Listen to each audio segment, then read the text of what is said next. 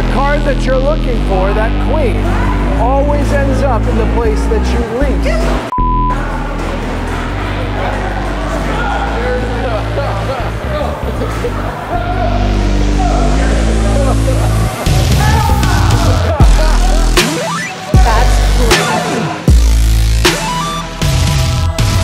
All of that. You ain't gonna get on us like that. You might have heard about a game called Three Card Monte.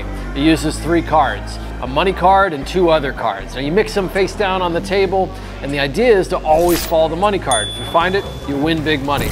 Now there's a new version where the cards are played up and down, face up and face down. And you might think it might be a little bit easier. But look, don't be tempted because the card that you're looking for always ends up in the place that you least expect. And just when you think you know what to look for, it's the other two cards that change places. Now, to keep you in the game, sometimes the gambler will eliminate a card, improving your odds, right, of finding the money card. But again, don't be tempted because the card you're looking for always ends up in the place that you least expect, which is why you should never play three card Monte.